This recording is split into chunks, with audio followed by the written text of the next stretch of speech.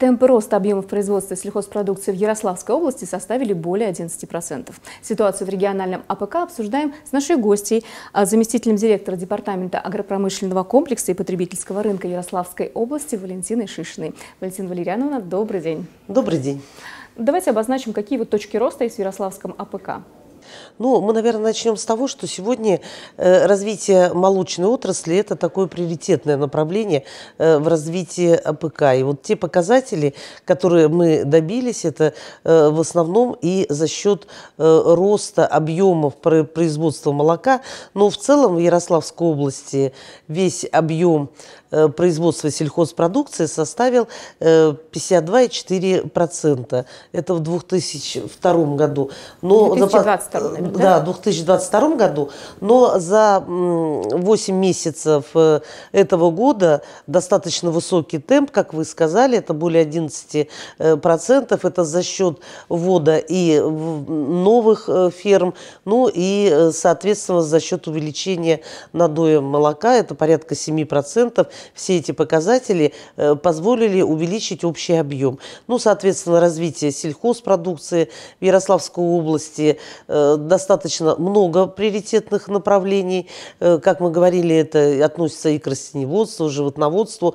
Ну и, наверное, все знают, что одна из крупнейших фабрик России, это фабрика Волжанин, находится на территории Ярославской области. Только один объем производства яйца у нас составляет более 2,3 миллиардов э, штук да, в год, и это достаточно неплохой показатель. Это говорит о том, что э, предприятия э, постоянно модернизируются, и сегодня достаточно высокий уровень э, развития производства в плане технологий. Ну и, наверное, вот в сельхозпроизводстве, если мы говорим о животноводстве, да, одно из важнейших направлений – это, конечно, развитие кормовой базы. И предприятия, и наше министерство министерства и правительства Ярославской области, мы э, нацелены на не те формы поддержки, как мы говорим, поддерживающие, да, а сегодня мы благодарны Минсельхозу, это вопрос, э, который стоит о стимулирующих формах поддержки,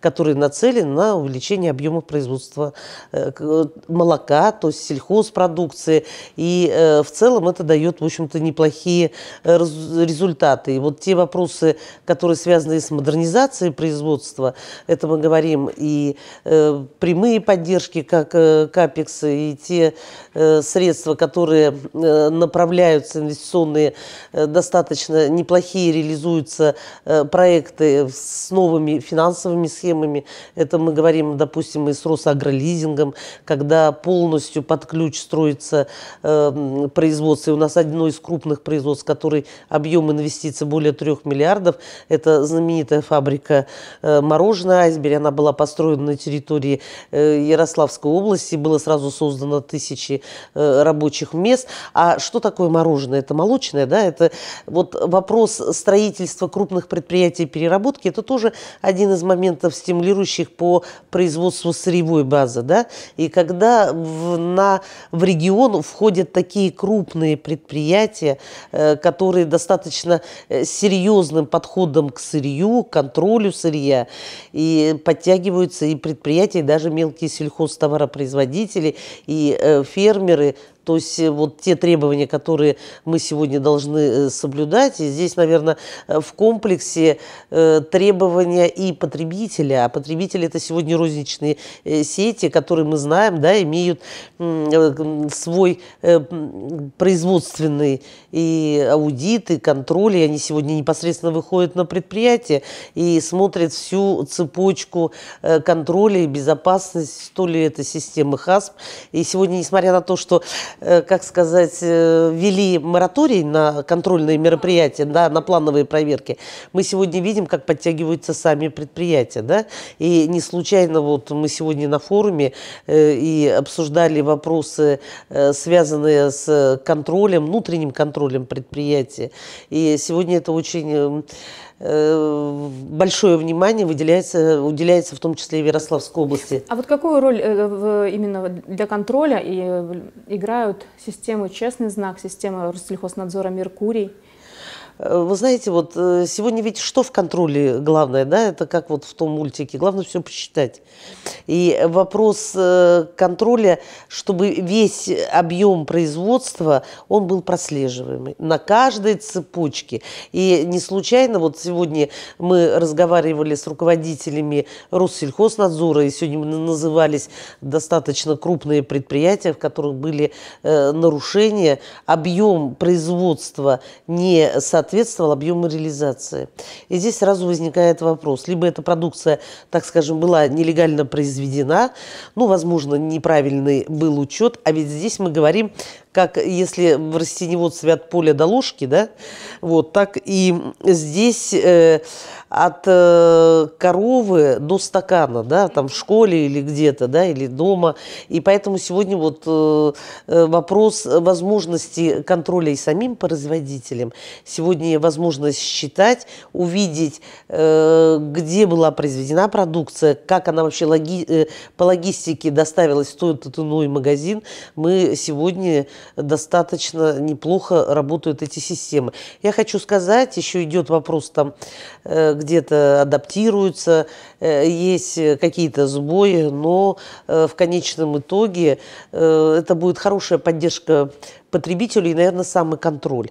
И когда э, все вот решится, сегодня были вопросы у нас и к честному знаку, и вопросы к работе системы Меркурий, но мы находимся сегодня только у истоков такого большого пути, и сегодня входить на мировой рынок – и понимать, э, что мы, э, это достаточно высокие степени стандартов. Ведь в рамках таможенного союза уже эти требования они были, и мы, в общем-то, отрабатывали, и это те контакты, которые у нас с Казахстаном, с Белоруссией, вот, э, но мы сегодня рассваиваем и другие рынки, да, и это показывает вот тот рост экспорта, который есть на территории Ярославской вот как области. раз про экспорт хотела уточнить. Растет экспорт поступательно? Вы знаете как, вот э, в 22 году в конце мы увидели вот по отгрузкам такие небольшие, э, небольшое замедление, но в рамках перераспределения экспорта, да, это и Китай, и Индия, ну, соответственно, наши дружественные Белоруссия, Казахстан, Молдавия, мы сегодня видим, что спрос на продукцию есть. да, конечно, область. конечно. И вы знаете, э, были удивлены, что и спрос на мороженое есть. Вот, спрос на мороженое сейчас э, предварительно... Но Айсбери даже в Африку, по-моему, поставляет. Да, Айсбери поставляет. Э, в Африку. Э, наша компания Атрус поставляла печенье, поставляла печенье в Америку. Но вот сейчас Китай и Индия, то есть, в общем-то, обратили э, внимание, Вьетнам обратили внимание на продукцию ярославских э, производителей достаточно высокого э, качества, и мы сегодня можем предложить, в общем-то, большой ассортимент. И по всем показателям у нас э, без акцизов, чтобы вот на понимание, потому что доля достаточно высокая акцизов, да, и без НДС у нас э, порядка около 75 э, миллиардов объем пищевой и перерабатывающей э, промышленности, и тоже рост больше 11%. Это говорит о том, что предприятия нашли новые рынки сбыта. И я даже больше хочу сказать, если у нас в 2022 году рост показывался там 5-3% по отдельным видам продукции, то здесь мы говорим общий объем, это вот такой рост, это говорит о том, что продукция ну, российских производителей я сегодня могу говорить, потому что у нас достаточно крупные компании, которые работают не только на территории Ярославской области. Это говорит о том, что спрос на продукцию достаточно высок. Но и о том, что качество продукции, потому что мы сегодня говорим, да, чтобы продукция попала на экспорт, здесь еще одна сторона контроля. Да? Это сегодня дополнительный лабораторный контроль, а мы знаем, что сегодня вот в рамках добровольной сертификации э, именно уровень предприятий, самоконтроля, да, уровень предприятий сырьевой базы в комплексе говорит о том, что продукция достаточно высокого э, качества. Хотя вот в рамках э, Роскачество, да, Россельхознадзор проверяет, то есть э, э, продукцию, и в том числе в сетях, и традиционной рознице, и на рынках, на территории и Ярославской области тоже попадается продукция достаточно некачественная. Но здесь очень быстро уже срабатывает, и если как говорят, у нас сейчас вопрос контроля, это рискоориентированный, да? То есть если риск есть нанести вред здоровью э, населению, там, в отдельно взятых э, субъектах, то однозначно э, вводится ситуации, когда прокуратура уже согласовывает э, проверки контроля, ну и, соответственно, вся продукция э, изымается. А вот в рамках работы Меркурия и в работе в честного знака мы видим, куда еще она поступала. И поэтому изъять некачественный товар гораздо сейчас стало проще. Это практически работа одного дня. Какие вообще планы по развитию э, в регионе? То есть будут ли открываться новые предприятия, расширяться мощности действующих предприятий? Да, вы знаете, я вот э, буквально перед э, интервью с вами посмотрела, и очень удивительно. У нас так получилось как бы к 2025 году, у нас такой проект 20-20-20. Это я имею в виду, на 20% мы увеличиваем поголовье. Это будет более 50 тысяч это крупного рогатого скота, и э, более 15 тысяч, это 15 э, миллионов, это э, птицы. Это сегодня ведется в целом в сельхозоборот, это 305 тысяч гектар земли, это достаточно для Ярославской области очень много, потому что вот 5 лет назад у нас было введено не более 200, и здесь я еще раз хочу сказать, то есть вот кадастрирование, формирование земельных участков, то есть вот те поддержки на мелиорацию, потому что это очень важно. И э, мы э, планируем на 20% увеличить э, в целом объем производства молока 420 тысяч тонн в год мы будем производить валовый объем молока. Это достаточно... Какому это году планы? Это, ну, я сказала, на 25 угу. год. Это те прогнозы, которые сегодня и мы приняли на себя, соответственно, это приняли обязательства. И это гарантированные выполняемые обязательства, те предприятия и те инвестпроекты, которые мы подписывали соглашение, они будут реализованы к 25 году. Мы построим три новых фермы которые э, более, одна более тысячи голов, более двух тысяч голов. То есть это будет за счет увеличения, как мы говорим, и надоев, и за счет увеличения поголовья. Ну вот один из важных вопросов вот по птице, да, вот вопрос птицы, это вопрос, конечно, и качества кормов. Но вот удивительно, на территории Ярославской области у нас растут прекрасные. Мы можем собираем сегодня неплохие урожаи.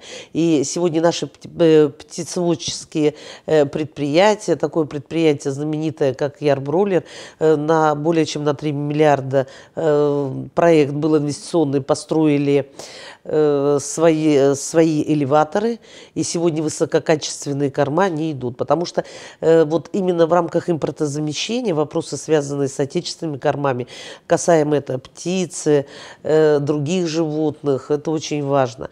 Но мы еще с вами не переговорили о селекции, время я вижу мало, но Ярославская область, вот, наверное, все знают, знаменитая ярославская порода, и мы не случайно вот сейчас вспоминаем пашихонский сыр, это был разработан здесь, на территории Ярославской области, углический сыр. И это вот благодаря как бы вот поддержке селекции, в том числе ярославской породы, это наиболее пригодное молоко, там высокое содержание белка, и поэтому казеиной, поэтому э, сыр получается высокого качества. И здесь уже наши даже фермерские хозяйства, много ремесленных сыров. И сегодня Ярославскую область мы считаем такой основой сыроделия. Но здесь мы должны говорить, что биофабрика, да, то есть это все штампы, которые есть, да, это практически библиотека заквасок находится на территории Ярославской области. Э, знаменитый сыродельный завод, это углический завод, да, исторический, который сегодня, вот та научная работа, которая проводится, вот мы сегодня говорим, да, э, очень важно, ведь вопросы кадров, вот эти планы, которые мы поставили, да, 20, 20, 20, да, так получилось, может, 21%, вот эти планы, которые мы поставили, они зависят сегодня и от кадров. Ну, естественно. И вот как раз вот э, этот форум, обмен опытом, Мы сегодня видим, какие молодые, высокие, э, хорошие кадры э, проходят. И мы сегодня видим вот интересующиеся, которые э, готовы развиваться, идти вперед. И та поддержка, которая вот оказывается, в том числе на территории Ярославской области, молодым студентам, специалистам, особенно медалистам, мы сегодня ждем, чтобы они пришли и работали на территории Ярославской области и создавали новые продукты. Мы сегодня говорим, вот вопрос брендирования, это тоже очень важно. Это одно из направлений, наверное, в целом по Ярославской области, узнаваемость брендов, да, потому что очень много сейчас говорят и о агротуризме, и о промышленном туризме, и сегодня мы находимся в прекрасном городе, да, где, наверное, один из туристических, и вот гастрономический туризм, чтобы можно было попробовать наши продукты и желания. И сегодня мы видим, как э, наши рестораторы, да, то есть активно работают э, э, с нашими сельхозтоваропроизводителями и даже по созданию новых э, брендов. Я уж просто единственное хочу сказать, и романовская овца, и э, наши знаменитые, наверное, вятские огурцы, и сегодня вот весь спектр продукции, пряники, все, что можно приобрести. Ну и мы всех приглашаем, ждем на э, Ярославской области к нам в гости посетить. Я думаю, что каждый проведет и найдет частичку себя. Ну, а инвесторов сегодня всех э, предпринимателей э, ждут, я думаю, приятные такие сюрпризы в части дополнительных господдержек. У нас индивидуальный подход к инвестору. Э, существует и магазин земли, и мы, в общем-то, бесплатно выдаем э, без торгов земельные участки для развития крупномасштабных инвестпроектов. Вы можете говорить про Ярославскую область, чувствуется очень да. влюблены в свой регион, но, к сожалению, время заканчивается. Спасибо вам большое, что пришли. Спасибо огромное, что пригласили. Спасибо.